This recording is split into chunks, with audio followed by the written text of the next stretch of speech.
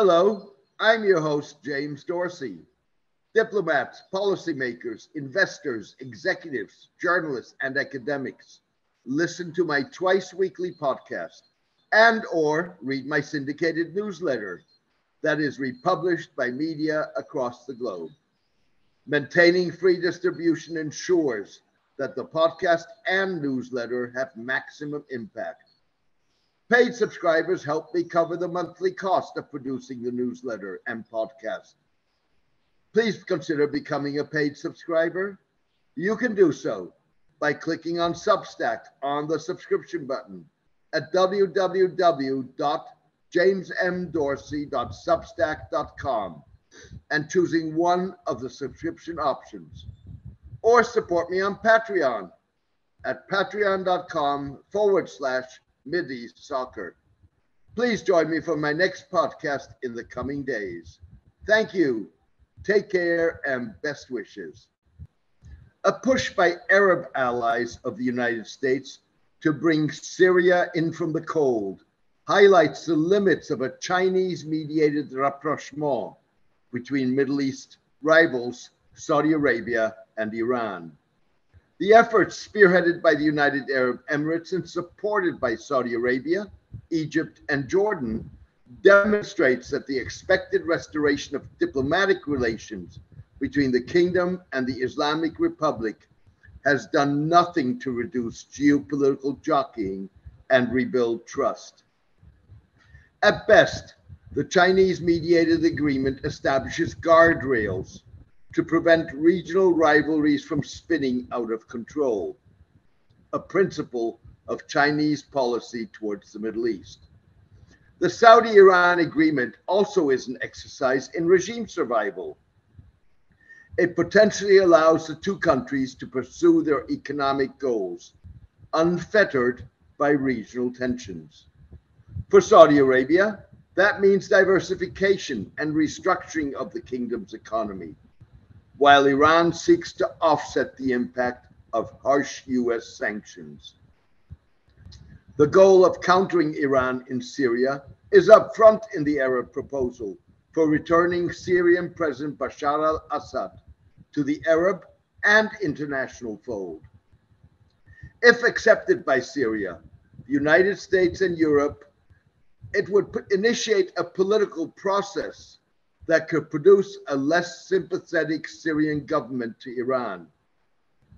It would also establish an Arab military presence in Syria, designed to prevent Iran from extending its influence under the guise of securing the return of refugees.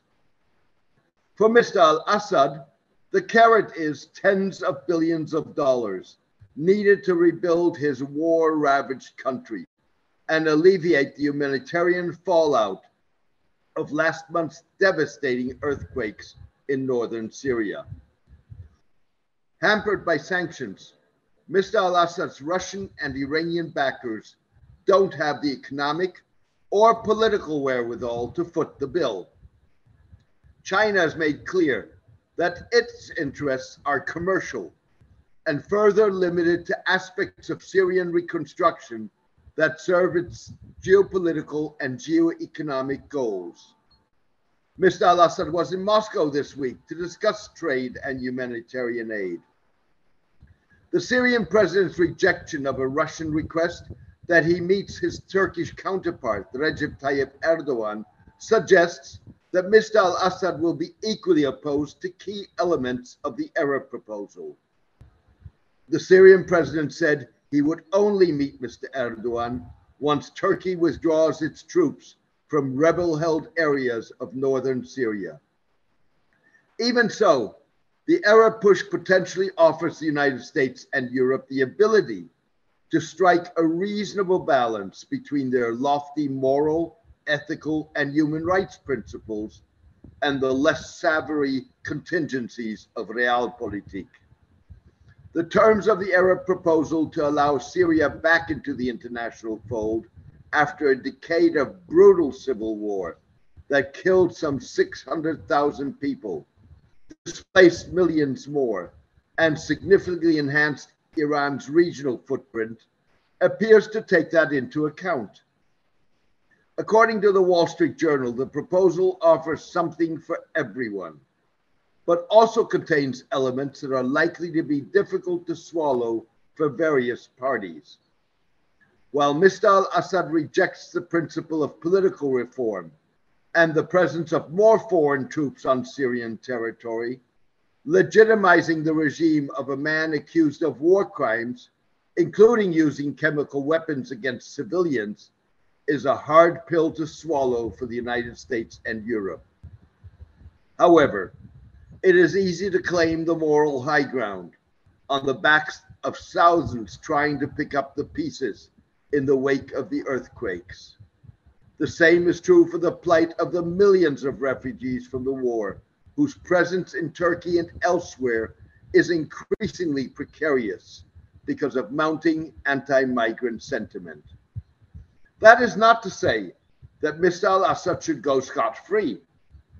Nonetheless, the failure to defeat the Syrian regime after 12 years, in which it brutally prosecuted a war with the backing of Russia and Iran, suggests the time has come to think out of the box.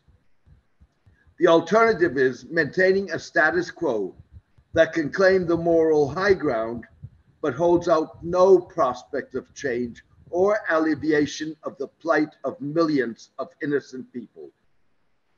To be sure, morality is not a concern of Arab regimes seeking to bring Mr. al Assad in from the cold.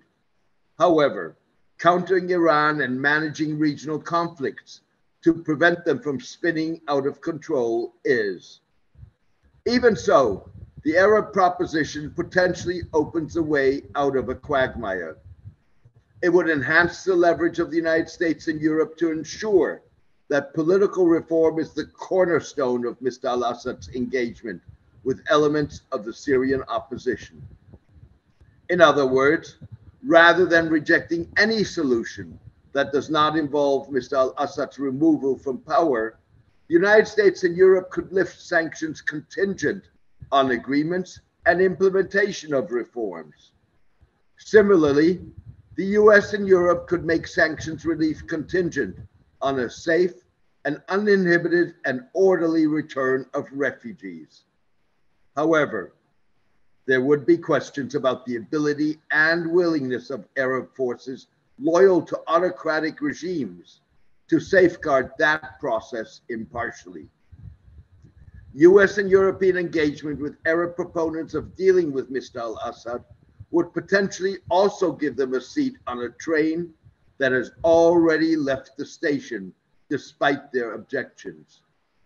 Ali Shamkhani, the Iranian national security official who negotiated the deal with Saudi Arabia in Beijing, was in the UAE this week to meet President Mohammed bin Zayed. There is little doubt that Syria was on the two men's agenda. Mr. al Assad met for the second time in a year in Abu Dhabi with Mr. bin Zayed this week and traveled to Oman for talks with Sultan Haitham bin Tariq last month. The Jordanian and Egyptian foreign ministers recently trekked separately to Damascus for the first time since the civil war in Syria erupted in 2011. Perhaps the most fundamental obstacle to the Arab proposition is not the fact that Syria, the United States, and Europe would have to swallow bitter pills. The prime obstacle is likely to be the Arab proponents of the plan. The UAE, Saudi Arabia, Egypt, and Jordan are unlikely to stick to their guns in presenting the plan as a package. Having taken the lead in cozying up to Mr. al Assad, the UAE has since last year demonstrated that it is willing to coax the Syrian leader to back away from Iran at whatever cost to prospects for reform or alleviation of the plight of its victims. Saudi Arabia, like Qatar and several other Arab countries, initially opposed reconciliation, but the kingdom has since embraced the notion of rehabilitation of Mr. al Assad. This puts the ball in the US and European courts. Much of the Arab proposition is about enticing the United States and Europe to be more accommodating, and more inclined to a conditioned lifting of sanctions. The problem is that Mr. al Assad is likely to call the Arab states' bluff in the knowledge that Iran is his trump card. A speedy, in principle, US and European embrace of the Arab proposition would hold Emirati and Saudi feet to the fire and put Mr. al Assad on the back foot. Thank you for joining me today. I hope you enjoyed the podcast. Diplomats, policymakers, investors, executives, journalists, and academics listen to my twice weekly podcast and or read my syndicated newsletter that is republished by media across the globe. Maintaining free distribution ensures that the podcast and newsletter have maximum impact. Paid subscribers help me cover the monthly cost of producing the newsletter and podcast.